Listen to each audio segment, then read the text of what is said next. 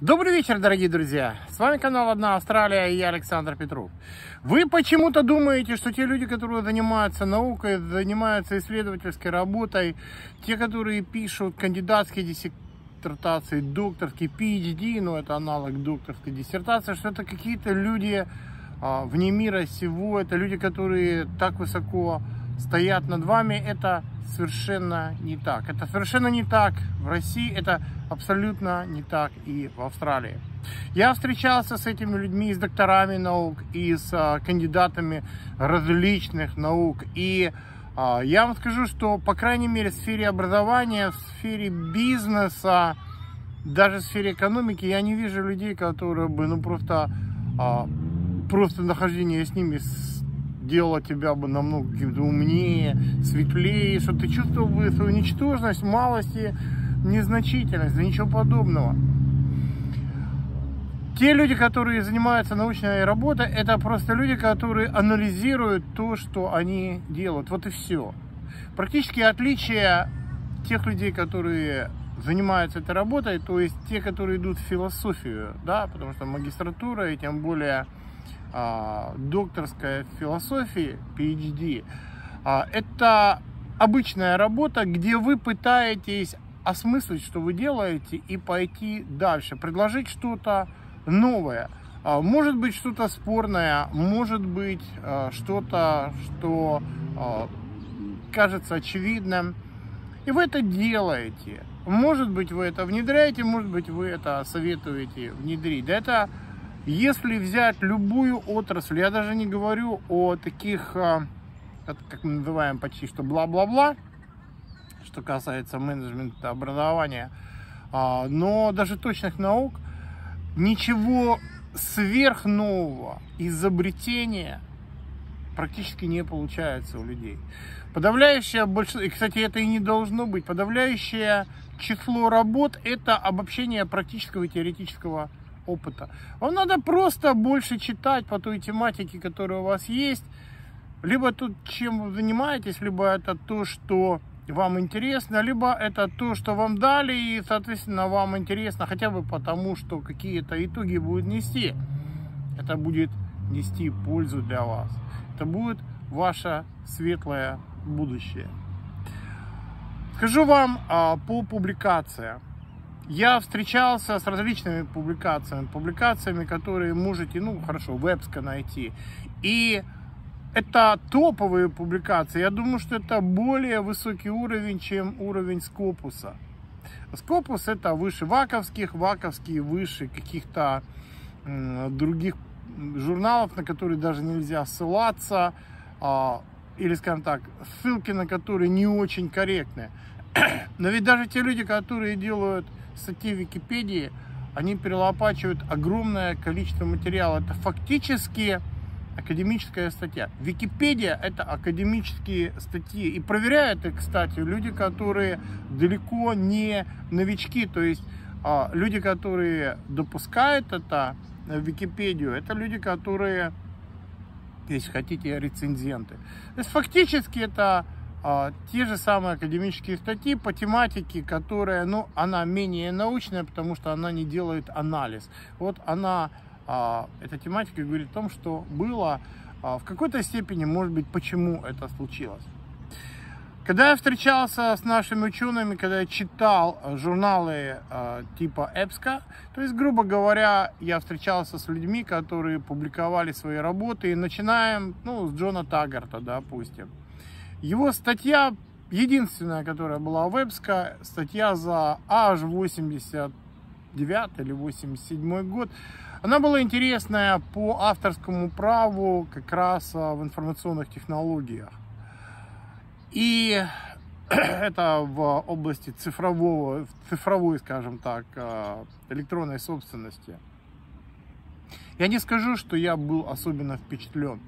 Мне понравилось у Джона Таггарта его а, организованность, его светлый ум, его а, его веселый нрав, скажем так.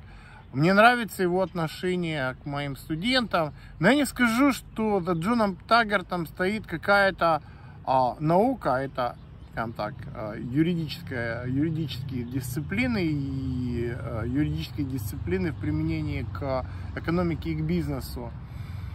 А, я не скажу, что это великий человек, это мой друг, это хороший человек, это умный человек, умеющий организовать свое время, но это, это один из самых высоких уровней в этой сфере. То есть а, люди, которые самые высокие в сфере, а, допустим, академической, юридической, это уровни его, Джона Таггарта.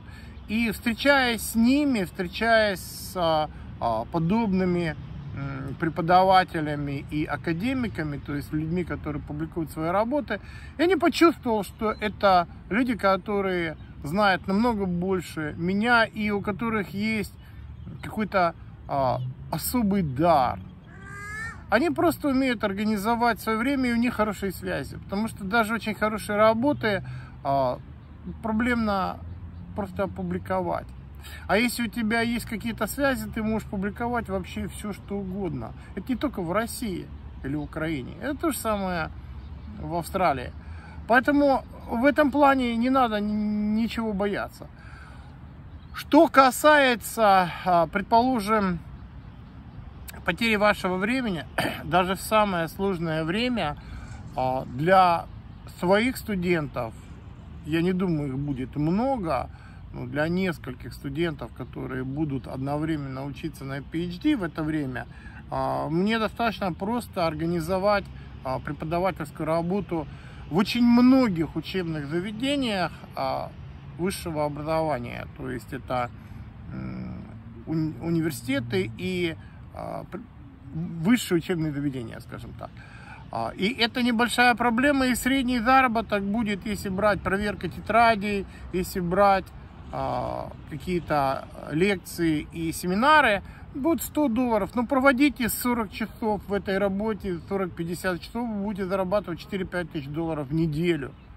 И в этом случае частично вы будете зарабатывать эти деньги и а, в каникулы.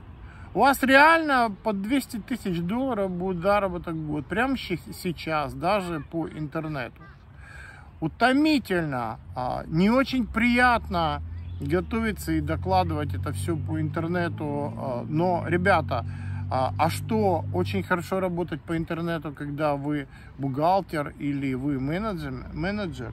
Я тоже не думаю, что это великое счастье. Но ну, ситуация такая. Поэтому я думаю, что э, и с этой точки зрения ничего страшного нет. Это большой заработок. Более того, те люди, которые очень сильны в философской э, стороне, то есть это люди, которые академической деятельностью занимаются, э, эти люди всегда нужны государству, потому что они думают, они обобщают. Государство для того, чтобы, ну, если хотите бороться со своим собственным народом, оно должно э, опираться на умных людей, сильных людей, людей со связями, а таким образом, входя в эту, а, в эту отрасль, вы становитесь умнее, сильнее. А, то есть все хорошее, все нужное для вас, для вашей карьеры, это все усиливается. При этом я бы не сказал, это какие-то большие затраты вашего времени, вашего ума, какого-то вашей, ваших усилий. Вы же поймите, если вы даже идете работать маляром, самое низкое, что может быть, вот именно просто рабочие специальности, при этом не особо квалифицированные, да, не надо там учить. Никто не учит малярки там в ПТУ там по 4 года вы же все просто по факту учитесь э, как бы то в подмастерьях, потом уже в мастерах и понеслась. Вот. Но ведь у вас тоже нахождение клиентов, э, нахождение э, работников, если вы собираетесь сабконтракт делать, то есть кто-то за вас будет работать, контроль за денежным потоком и все остальное, маркетинг, все это требует ну, каких-то усилий больших, гораздо порой больших и нервных, чем а, академическая работа, где вы а, просто берете тут же даже электронные материалы и перелопачиваете и ищете по ключевым словам. Это совершенно не проблемно. Вы просто подумайте о том, что будет после этого. А после этого вы имеете то самое светлое будущее, на которое рассчитываете. Поэтому подумайте об этом. Это на мой взгляд, увлекательно, замечательно и за уши вас потом не оторвешь после того, как вы к этому пристраститесь, поверьте мне.